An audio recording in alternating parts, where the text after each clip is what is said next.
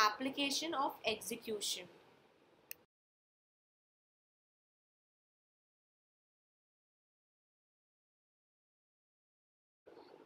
Where a decree holder desires to execute it, he shall apply to the court which passed the decree.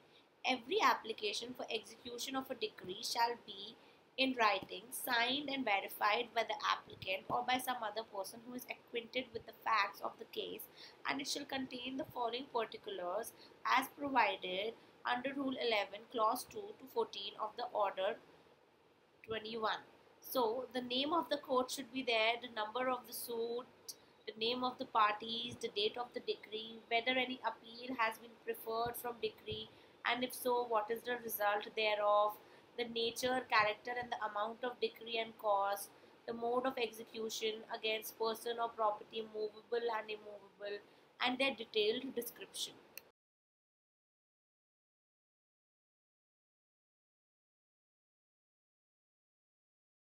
Now, if the application complies with Rule 11, Clause 2 to 14, the court will direct exclusion under Rule 24, and if it does not, it may be rejected or ordered to be amended under Rule 17. When the application is rejected, the decree holder can present another application property frame where the application is made for arrest and detention of the judgment debtor in prison.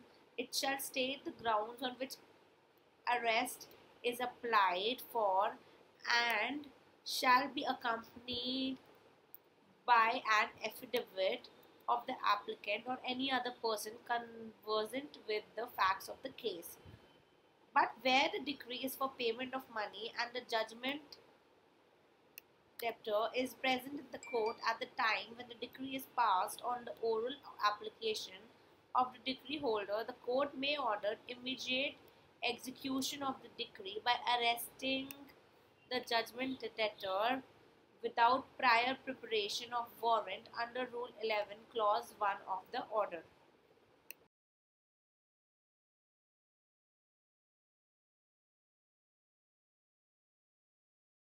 Now, who may apply for execution?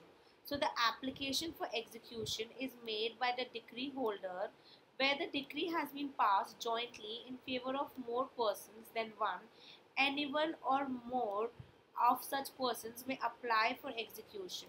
Where a decree is transferred by the decree holder, the transferee may apply for execution. If the decree holder is dead, his legal representative may apply for execution. Against whom execution may be applied for, where judgment debtor is living, the execution is applied for against him. But if he is dead, execution is applied for against his legal representative. When the execution is applied for against the legal representative of the deceased judgment debtor, it cannot be against the person of the legal representative, but only against the property of the judgment debtor which has come to the legal representative and has not been disposed of by him.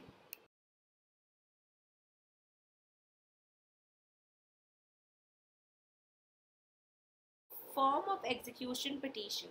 An application for execution of petition under rule must state certain particulars.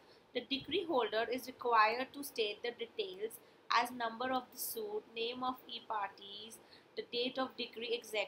in detail in missing uh, in the application. The court may give an opportunity to the decree holder to remedy the effect. An application for execution is generally made in a tabular form given in the form number 6 in Appendix E to the first schedule of the Civil Procedure Code. But the fact that the petition for execution was not in a tabular form is in itself not a sufficient ground for rejection the application.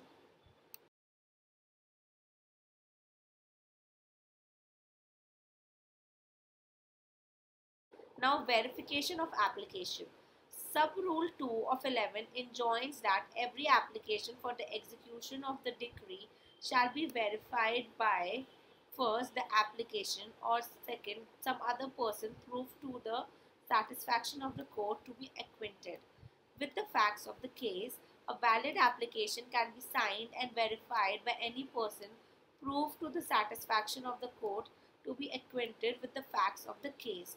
So if an incorporate body obtains a decree through its secretary, an application for execution is signed and verified by its president. The application is competent. Rule 11, Clause 1 does not require that the execution petition must be verified by a person authorized by the decree holder. It may be verified by any person acquainted with the facts of the case.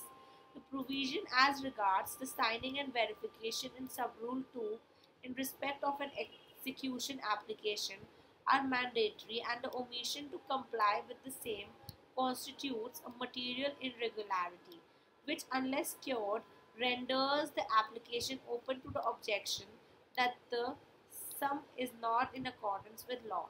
Where there are more applicants than, than are, the verification need not to be signed by all or verification one of them acquainted with the facts of the case is sufficient. By Article 136 of Limitation Act 1963, the period provided for execution of decree is 12 years from the date on which it becomes enforceable.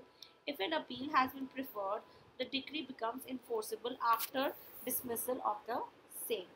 That's all. Thank you.